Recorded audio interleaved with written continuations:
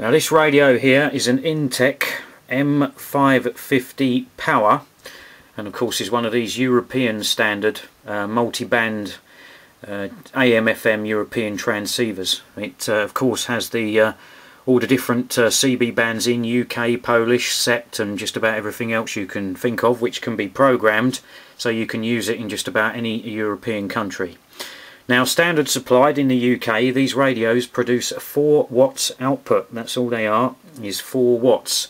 But you can do a modification to them internally to get them up to around about 10 watts. Now I've modded a lot of these now and in my experience anything from about 9 to 12 watts can be achieved with a little bit of tweaking.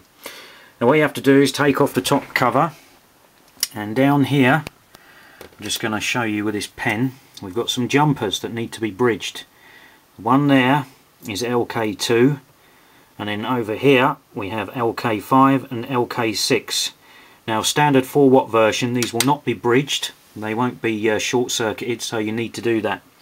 Down the back here we have a cap. There's a capacitor there. Now I haven't seen this present on all of the ones I've done but it is in some of them if this cap is not removed, the output will not go up very much. It will only go up by about 2 watts, so you need to remove this cap.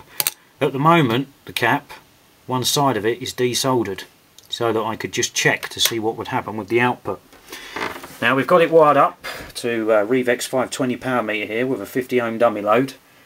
Now before we had about 4 watts. Now on the moment on the TX meter it's going right over to 10 and on the Revex meter there on the 20 watt scale we have almost 10 watts. Now what I'm going to do now, which you won't see, is I'm going to turn it back over the other side. I'm going to remove that cap completely and then I'm going to tweak the, uh, the coils, the inductors on the output stage. They're not tunable ones but just by a little bit of stretching or compressing you can normally get one or two extra watts out of them. Sometimes it works and sometimes it doesn't but uh, we'll see just how much we can get out of it.